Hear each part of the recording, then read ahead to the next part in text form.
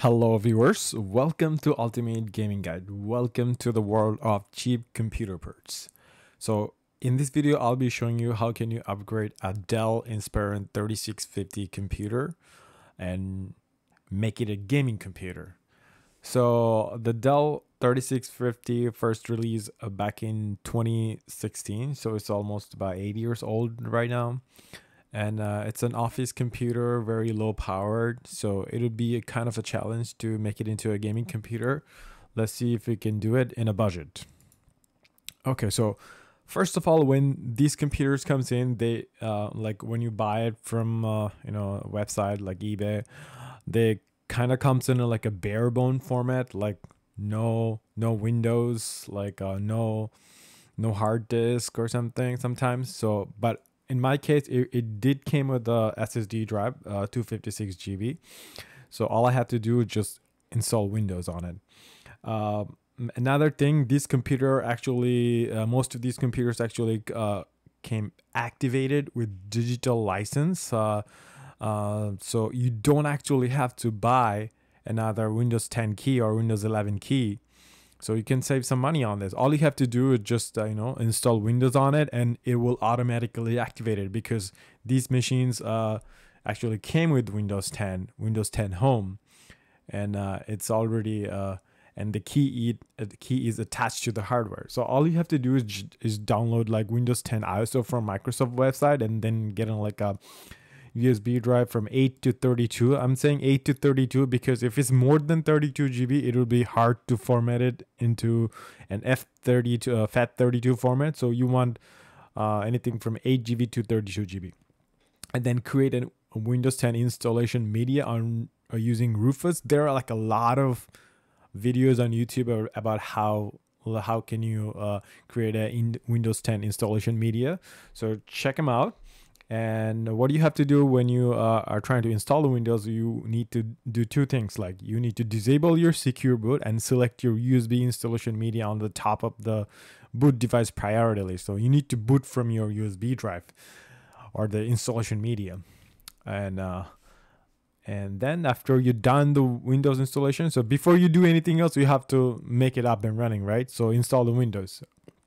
So after you have the Windows up and running, uh, you don't have to uh, and if you if it did not come with an ssd drive you can actually buy one for very cheap. Um, for as you can see there's an example here. You can buy a 240 gig uh, ssd for only $13 just get one according to your needs. If you need a 512 get a 512 if you need a one terabyte get a one terabyte okay? And then for cpu upgrade these uh, computers actually came with uh, either a core i Core i3 6100 and Core i5 6400. So you you can upgrade, but I did not upgrade it uh, to the CPU. But if you you can upgrade, and uh, you can uh, get about 10% performance increase. For for me, it was not worth the trouble. Uh, but if you do decide to get a CPU like a Core i5 6400, make sure you don't get the Core i5 6400T you can see the T designation. They, they're actually the price the same, but actually, but the 6400T is a lot slower than the 6400. You can see the 6400T is only 2.2 gigahertz and the 6400 is 2.7 gigahertz. So, and it's a quad core. Uh, so if you, after the CPU upgrade, you need to do a memory upgrade. Um, unfortunately, these computers comes with like either 8 GB or like 4 GB. Uh, the the version that I bought it only came with 8 GB RAM. Uh, but the main problem with this machine is it only uh, takes like a low voltage DDR3. So if you were if you need to buy a RAM for these things, make sure you get a DDR3L. L stands for low voltage. Like like there's an example here. I got this RAM for from eBay for like about nine dollars. Uh, get two of the age because there's only two uh, memory slots you only you you only be able to put 16 GB in there get like one 8 GB and one 8 GB and you should be good to go uh, again make sure this is a DDR3L I tried to put another RAM another DDR3 RAM in there and it would not work. So without the low voltage DDR3 PC3L, it would not work. So make sure you get that uh, low voltage RAM. Uh, all right, so see, this is the example here. I got a, like a five RAM for nine dollars, so that was heck of a deal. Um, and then main now the main thing to make it a gaming computer, you need to get a GPU. Uh, for these uh, these computers actually came with the 80 plus certified power supply, but it was only 350 watt. But the CPU is very uh, low voltage. I mean, the CPU consume very little power, and the RAMs also consume very little power. So um, you can actually get away with uh, with the exist existing PS uh, power supply that the CPU uh, that the computer already had. So make sure you get the get a low powered graphics card. Uh, I was able to use these uh, RX 580 8GB 2048 SP version or like a 1050 Ti.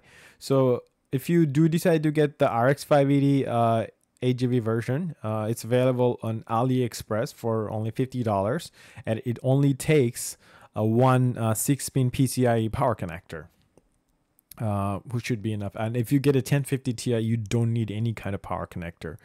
So, but you know, um, this would be a little bit more powerful with the with 1050 Ti. It's about uh, it it will get like a 2500 score uh, on uh, 3D marks, but with the um 58 5 RX 580 you can get 3500 score. So it's a lot more performance, about one third more. And uh, to get the graphics card installed, you need some cables. So for me, uh, uh, it, you need uh, because the the power supply the Dell computer came with Dell 3650 came with it does not have any kind of uh, you know 6 pin PCIe connector. So so you need to get this thing HDD SATA power cable for 3650 it's called GP2 uh, JM uh, so you need this on the left. So you need this uh, you need to connect this one to your motherboard and then you have two SATA power connector available. So you need to connect this SATA connector with another adapter. It's called 15 pin SATA power to 6 pin PCIe. So you need to get this. Uh, these are, um, I need to connect this SATA connector with one of these. And then you have a PCIe 6 pin connector that you can uh, connect to your GPU and these things are available on eBay for very affordable price. Uh, this HDD SATA power cable, you may already have it on your computer, uh, but uh, the the the computer that I bought it did not came with one, so I had to buy one for six dollars, and uh, I believe these uh, uh, SATA to PCIe connector were like five dollars. So finally, see, uh, I was able to fit the GPU and able to connect it. So when you see like these um, motherboard to uh, SATA, HDD uh, SATA power cable, actually had two, but I actually did not use two. I actually used only one because uh, this uh, power cable will only have like a 75 watt limit. So you don't, I don't want to divert any power to any other components other than the GPU. So I, I only used one and one for the GPU. Uh, and it seems to work fine. And after the performance, after the installation of GPU, uh, I did run a performance test and I was able to get uh, 3205 3D mark score, uh, which is pretty decent. Uh, I was able to uh, push the resolution up to 4K 60 hertz and it was able to complete the um, graphics performance test without any hiccup. So that was that was uh, pretty impressive for for a eight year old computer. And uh, I also did a Nova bench score, and I got 899. Um, and uh, you can you know in in here you can see the cpu score gpu score memory score and the storage score individually. So that's very helpful. And then afterwards i also ran the user benchmark test but i only got a like a 28 percent uh future benchmark score which was uh pretty poor uh, because of the graphics. Um, but then I try to like improve the performance a little bit. Uh, you can easily improve the performance uh, if you have an AMD GPU. Just uh, go to you the if you have the AMD Adrenalin Edition Control Center, just go there, open that one up, and uh, click the Performance tab, and then click Auto Tuning in the Auto Overclock GPU, and then you will get some performance boost. And another reason I was not getting decent performance is because I had two different types of uh, memory module, one from Kingston and one from Ramaxel. So so what I did, I, I switched to uh, the same kind of RAM, and that then afterward after that, I ran the um, ran the you know ran the performance test again, and you can see this time I was able to get 931. So I did improve my Nova Bench score by 32 points just by, you know, overclocking my computer. So previously it was only it was only 899. So so that's a decent upgrade and um, so that's just a performance test uh, on different benchmarking software. So what is the you might ask me what is the actual performance on games? So I did not have a, like a lot of games. Uh, the only game I ran was the Resident Evil 4 remake. This is a, a 2023 uh, game, so it's a it's a new game, and I was able to get a solid 68 FPS in Resident Evil 4 remake uh, by turning on the FSR. Uh, um, this is a special option uh, which uh, uh, would generate frames by reducing the quality a little bit. So I, I turned that to a performance mode and it was a very solid performance. Even though GPU was running kind of like 100% and then CPU was also kind of running like 99%, but I was able to play the game and you know it and the temperature did not like oh went way up high. It was it was like around only 75 degree for the GPU. So um so it was not bad for a, like 80 year old computer. And finally, uh, how much I actually spend on these things.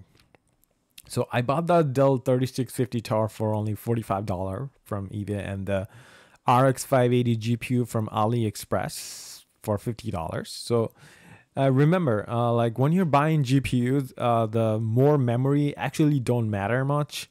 Uh, what matters is the clock speed.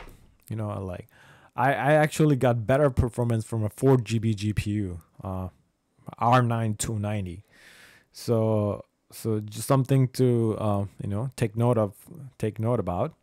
And I got a, like a memory from uh, eBay for only nine dollars, and then a SATA cable that I had to buy for six point five dollars, and SATA to PCIe cable to connect it to the graphics card for only five point five dollars.